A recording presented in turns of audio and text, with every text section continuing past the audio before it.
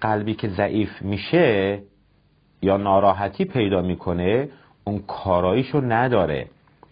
و از اون ور ثابت شده که با یه سری تمرین ها ما می‌تونیم قلب رو تمرین بدیم. دقیقا همین نکته را توجه بکنید لطفا.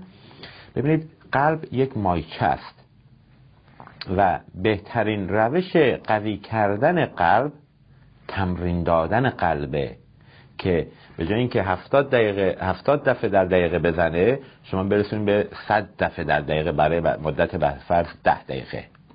خب در افرادی که بیماری دارن و ناراحتی قلبی دارن شخص خودش نمی‌دونه چقدر باید این قلب رو تحت تمرین قرار بده و چقدر ازش کارایی بکشه که باعث بهبودی بشه به جای اذیت کردن قلب. چرا؟ چون همون قلب رو بیشتر از حد تمرین بدی بهش باز دچار سکته میشه و مشکلات دیگه پیش میاره.